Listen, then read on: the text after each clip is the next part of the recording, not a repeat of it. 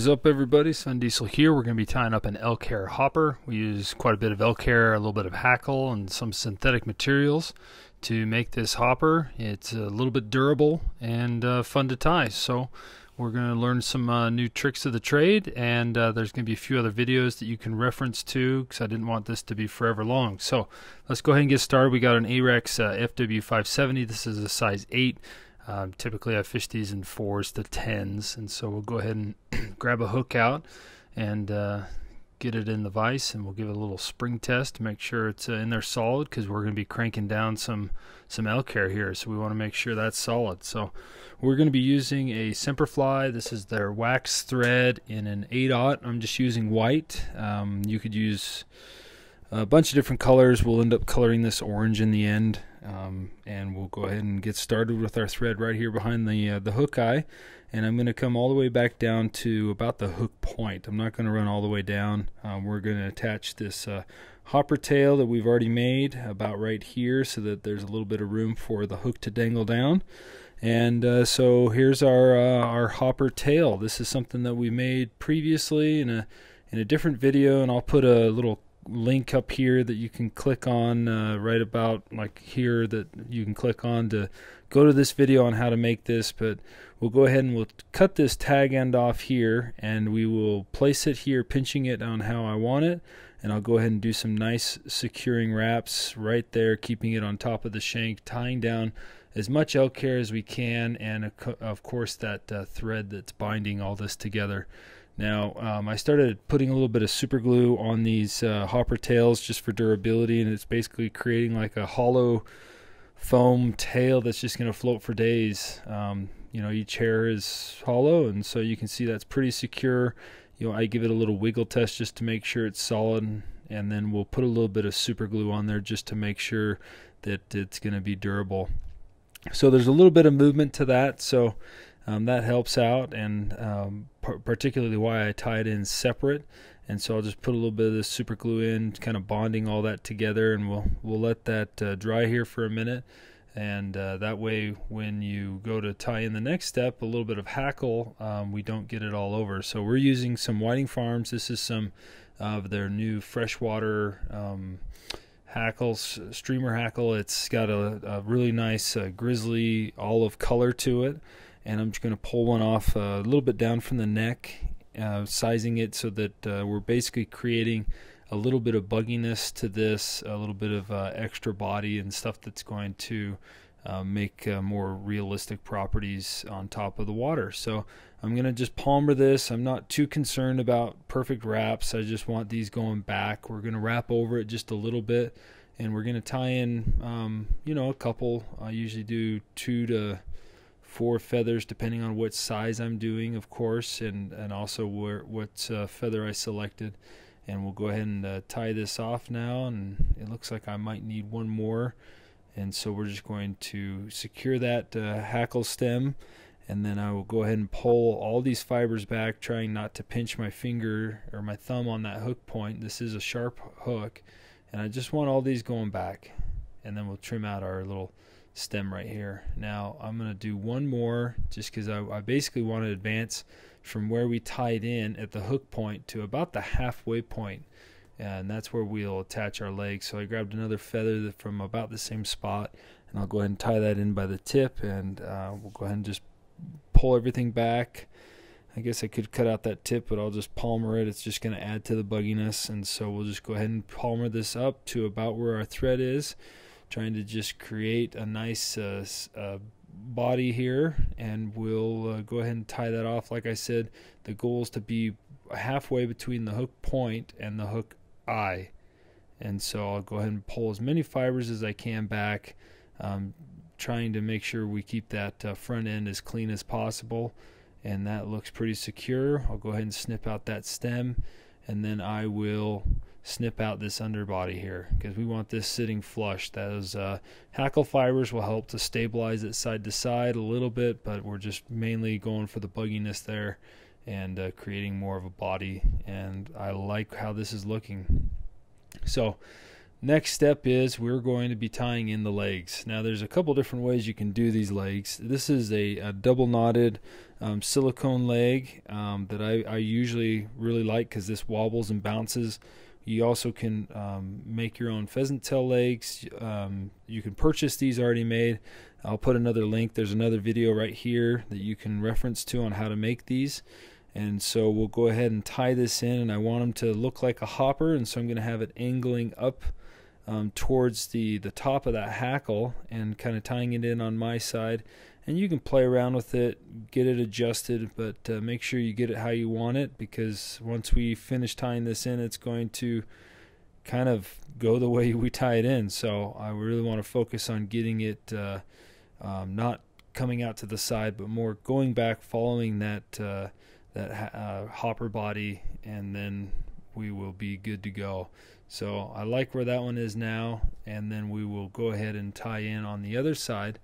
Um, these these legs will get splayed in just a little bit when we tie in the next uh, hackle, and so if they're sticking out just a tad bit, that's totally okay. And that one went in pretty.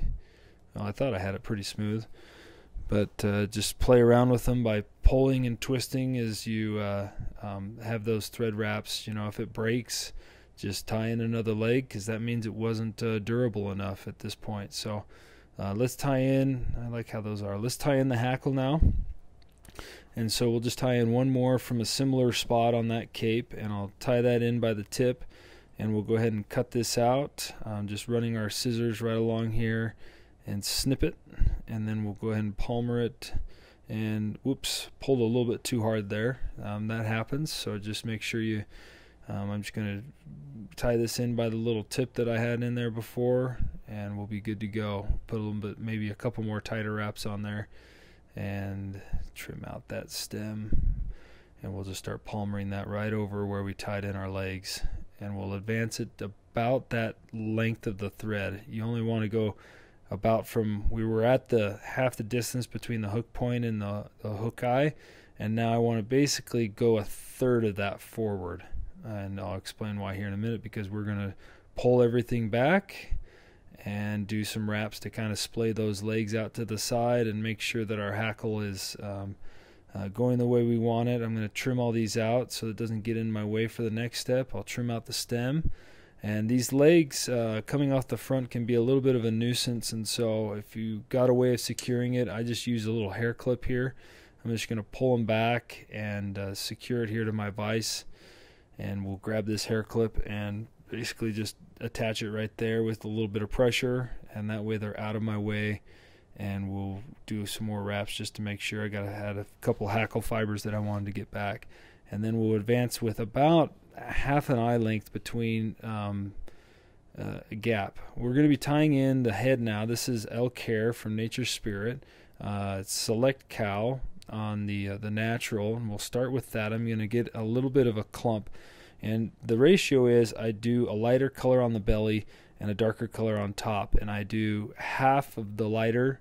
So we're going to be grabbing two times the amount of the olive. And so whatever you pinch now, just remember when you do the olive, it'll be double. And we'll go ahead and just uh, clean that off. We'll go ahead and throw it in our hair stacker, and we'll go ahead and tap, tap, tap on our our little vice bench here, and make sure those tips are aligned. I'll go ahead and pull it out of the hair stacker, and now I need to switch hands. So I just kind of pinch it and roll it and they don't need to be perfectly aligned. We're going to be trimming these, and if you're a OCD tyer, you may not like that way that I just did it, but I want to make sure these are clumped together on the bottom. So I'll do a loose wrap around that elk hair just to make sure that it, it's going to be clumped together because I don't want the natural going up into the green.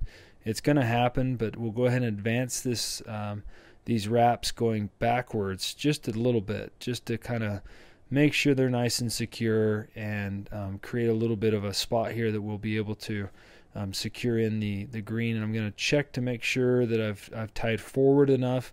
You want, like I said, not too much of a gap, um, and then we'll trim out these butt ends.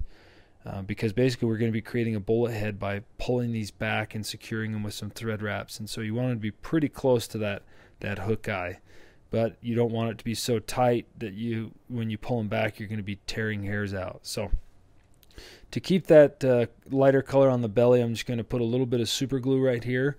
That way it's not going to walk around when, on me when I'm doing the, uh, the olive. And so, like I said, you want to grab about double the length or double the size of clump of elk hair for the top. And I grab maybe two and a half times because this is a little bit of a shorter um, hair on this olive. And so I'm going to probably lose a, a, few of them. And so we'll just go ahead and pinch it and clean this out with our, our hair comb here just to get that under fur out and make sure that uh, we don't really want a ton of that on there. And then we'll go ahead and when we switch hands, this is a pretty big clump and so I'm probably going to lose some of them. So we're just going to um, put these on, and I want the olive elk hair here to be a little bit longer than the uh, natural is, because we're going to leave um, this. Uh, will all make sense later, but we're going to leave the olive splaying back, but I'll be trimming the the natural on the belly. So just go ahead and switch hands, and if you lose a few hairs, that's fine. Just make sure you got about double the the amount of hairs now. And so I'll go ahead and just line that up right here on the top and I'll splay, I'll place it so they're a little bit longer. I'll come up and over and then I'll kind of on my second wrap crank down on that nice and secure. And we want to avoid having those natural fibers kind of coming up, but it's inevitable. And so I don't think the fish care. But um, there we go. So we've tied in the olive now and now we're going to trim out those butts and you could actually on some of the times I've tied this I've actually left those butt ends coming back to kind of create that uh, uh, more realistic but I, I, don't think it's been a better hookup ratio and so I end up just uh, trimming them out um, for that purpose and it just makes it for a, a nice cleaner head on the the bullet uh, the bullet head and so I just trim those out so just be careful at this point not to cut your hackle fibers and also avoid at all costs your, your legs. So we'll just go ahead and wrap a couple wraps through here. I'm going to pull my legs out of that and I want my legs kind of coming outwards and a little bit forward. So this is the point that we can manipulate those just with some thread wraps through those through those butt ends. And I'll go ahead and pull this one up and over. And this one kind of got trapped in all those elk hair. So I'll pinch those out in front. And then I'll do some nice uh, wraps right here just trying to get those to go out and uh, come to each side the way I want them and you're not going to see this because we're going to be tying the uh, the bullet head over these um, wraps. So once you have that where it is I kind of judge where my legs are to be the placement of the bullet head and I just start uh, separating the lighter from the olive I kind of pr- pull them back use my thumb to kind of splay them around and then we'll do a couple wraps just over the olive. And if you're more skilled than me, you can do both of them at the same time. But what I do is I just do those two wraps and then rotate my vise, and so then I can just really focus on um, getting all those back and getting them trapped in the place that I want them. And you can see how I'm grabbing that in a tighter group, and then I can adjust this by kind of just wiggling this with my thumb and I think I've got a little bit of a separation of a gap there, but this looks like it will catch fish. So um, really do some securing wraps on that bullet head, um, and then we got our legs. We'll trim them to be about the same length as the uh, between the the the foot and the the joint on the rear. And then if you got any stray fibers, go ahead and just get rid of those at this point. And now we'll just sharpie this up, and I'll do a little bit of orange here uh, you could do yellow. You could uh, do black. Uh, that's that's personal preference. I just have a lot of confidence in orange, so I'm just going to try and cover up all those thread wraps, create a little bit of a. It's not necessarily a hot spot on this, but potentially uh, something that might attract the the fish to come up and take a bite.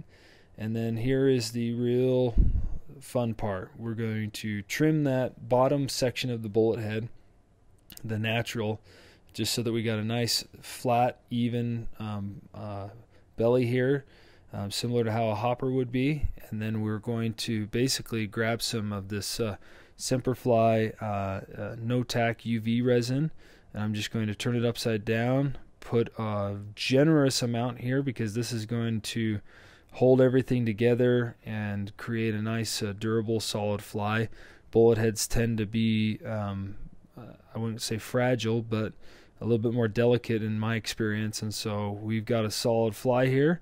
So go ahead, tie some up, have some fun, learn something new, and hopefully they pierce some lips for you.